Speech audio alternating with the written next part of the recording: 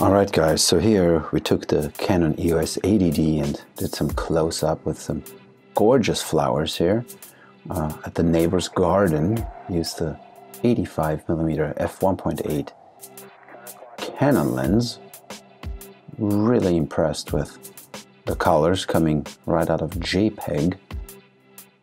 And really a gorgeous photo, I really enjoyed it. And um,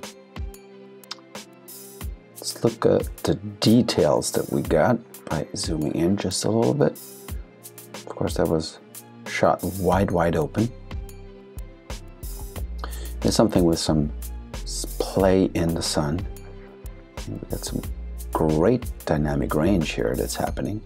Some shadows to the right and some light reflections coming in just there on the left. Let's have a look. Let's get in a little bit closer. And that retains the details quite nicely. And let's look at some all green stuff. And I really like how the focus here is on the back uh, leaf. The front is blurry. Makes for an interesting artsy look and I really like the sharpness of this new sensor. Of course the lens as well. That's an interesting shot of a flower, strong white here in the foreground.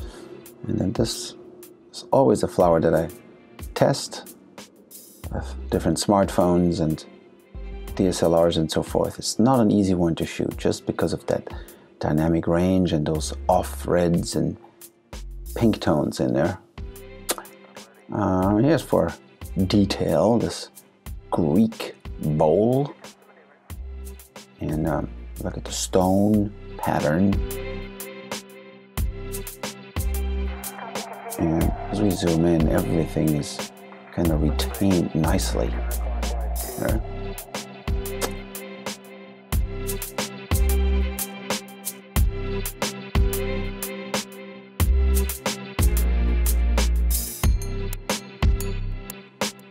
And a shot that wasn't too great here, just because it's not a very interesting shot, just a lot of you know shadows and whites in there and greens um, that tree in the spring in front of this building.